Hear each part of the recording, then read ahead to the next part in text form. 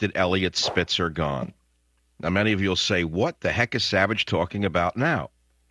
Well, I'll tell you what I'm talking about now.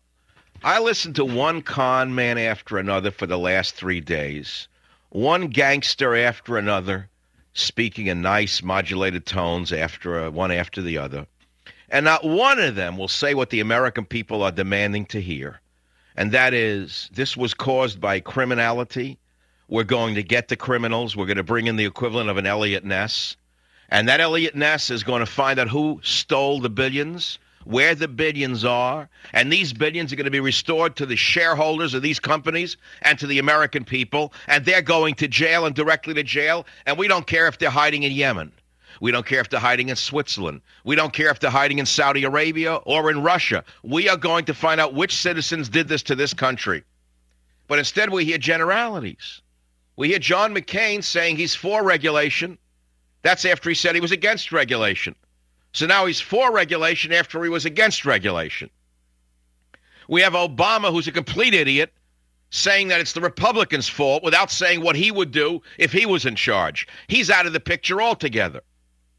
But I want to talk about who I would hire tomorrow to straighten this mess out. There's only one man in America who I would trust. And you know why I say this? Because he was on their trail before they pulled up this hooker scandal on him to get rid of him. That's Eliot Spitzer.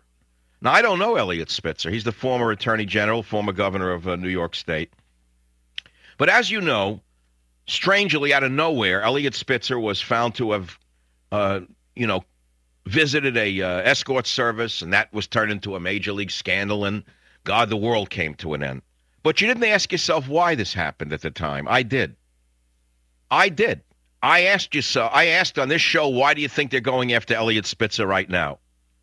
Well, I'll give you a few answers as to why they went after Eliot Spitzer at that time. Because Eliot Spitzer was on the trail of the gangsters who just took down Wall Street. He was the only one who knew who they were. He was the one who was trying to stop it. He was the one who could have stopped it. But you see, they got him where he was weak, just like in The Godfather. If you remember in The Godfather, when the senator is compromised, he was compromised in a house of ill repute in Nevada, owned by one of the uh, family Corleone brothers, if you remember. And then he becomes owned by them. Well, that's how the movie worked out. Didn't work out this way. Many people are saying they don't know what to do. It's quoted today that Harry Reid of the Democrat Party said nobody knows what to do. Hey, Harry, nice to meet you. I'm Michael Savage. I'm going to give you five things to do to straighten the mess out. I know what to do. You want things to do to straighten out Wall Street and the Fed and get some of the money back and to uh, straighten out the economy? Let's start with something no one's mentioned yet. Cut off all medical, educational, legal, and housing benefits to illegal aliens immediately. Now, why does Michael Savage say that? Because it's intimately involved with the collapse of America. The bums on Wall Street gave loans to buy houses to illegal aliens who had no down payment. Not because they liked illegal aliens, but because they were live bodies who they could uh, sell a mortgage to without regard to the fact that they could never pay it back. How much do you think it costs the state that you are in to support illegal aliens? I was in an emergency room last night again. That's right. Again, I was in an emergency room. Now, I don't mind that the folks in there were having a nice time and practically cooking a goat on the floor. It didn't bother me that half of them were, none of them spoke English. Didn't bother me at all. After all, I'm a compassionate man. I love the fact that I'm paying for their medical care, even though none of them were citizens. I can tell you right now. The state of California spends approximately $15 billion a year to pay for medical, educational, and legal costs associated with illegal aliens. That's the last figure I saw, which is about equal to the budget deficit of this large state.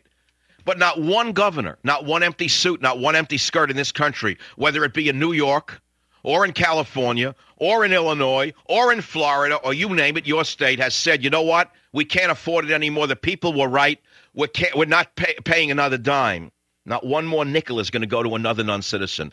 There's going to be a policeman at the door of every emergency room. We're putting a cop there. If you don't have citizenship papers, we're not going to treat you. Gee, that would save about $100 billion a year right there. That's not all the money that we need right now, but that bailed that's bailed out Freddie Mac, didn't it? Fannie Mae and Freddie Mac, 100 billion apiece. Now AIG. Where's the money going to come from? Let's start by balancing the books. How do you balance the books? cut off all medical, educational, legal, and housing benefits to illegal aliens immediately. Did you hear that? Now, number two, one third of all prisoners in the United States of America are illegal aliens. Did you know that one out of three are illegal aliens? Your empty skirts and your empty suits in politics won't acknowledge that fact. If we have 1.2 million people in prison, which was the last number I saw, that means we have 400,000 people in this country in prisons who are being cared for at a cost of approximately $40,000 a year, which is about $16 billion plus hidden costs that we could recover immediately by deporting every illegal alien out of our prisons. That's correct. Deport them. So right away, you see there's a little money. Now, that's just starting here. That's to start with. Uh, Mr. Reid doesn't know what to do. The president doesn't know what to do. McCain doesn't know what to do. Obama doesn't know what to do. I know what to do. Cut off all money to illegal aliens. They're not citizens. They're bleeding us dry. Throw out every uh, illegal alien prisoner. They don't belong here. We can't afford them at 40 grand a year. Now I'm going to go down to the next level, the real level. I would arrest and indict and try the CEOs and CFOs of Wall Street firms suspected of financial misdeeds. Now, who can do that? Do we have an Eliot Ness? We had one. His name was Eliot Spitzer. And I'm going to name names, by the way, in a few minutes on this show. I'm going to name names. I would then seize the assets of CEOs and CFOs when their chicanery is proven. I would take all of their ill gotten gains away from them, their wives, their children, their grandmothers, their grandfathers, and turn it back to the shareholders who were robbed. Fire Chris Cox, the head of the Security Exchange Commission, which, by the way, now McCain finally called for. I called for it when? When did I call for it? I called for it last week. I was a week ahead of John McCain on that one. I said fire Chris Cox. The man is a joke. But there's more than a joke involved. I believe there was criminal negligence on the part of Christopher Cox in permitting Wall Street to rape the American economy. Hold him accountable. Who would you put in place of Chris Cox? I would I would give Eliot Spitzer amnesty, and I put him into that job of uh, heading up the SEC. He was taken down, down by the money changers. He was the only one going after the criminals on Wall Street.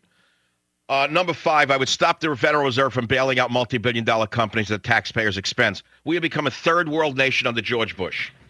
Now, I told you six months ago, I told you six months ago that he wasn't through with us yet. I told you that he was not yet through with us yet.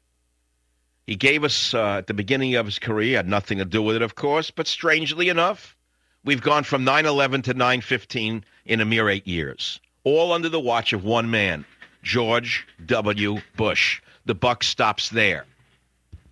Now, here's the question for you another question. Now, there's not only one, but there's several questions. Uh, it's interesting to me that he doesn't know what to do. He has no idea who to put on Wall Street to investigate who may have robbed uh, the, the shareholders. Remember, remember this very clearly. When you hear that people, that money has been lost, there's human beings out there who are broke now who were not bad people. They were average people. Not only did they lose jobs, they lost their investments in so many companies. But somebody benefited. Many bodies have benefited. Many girls of these people have benefited. Why, they have I told you jokingly, not so jokingly, a few months ago, these people were so fat on what they robbed off Wall Street that they were giving uh, Gulfstream 3s to their maids. They had a Gulfstream 5, of course, but they gave the Gulfstream 3 to their favorite maid. They gave away their old Gulfstream 2 to their maid's maid. They gave away an old Gulfstream 1 to their jockey. That's how bad it had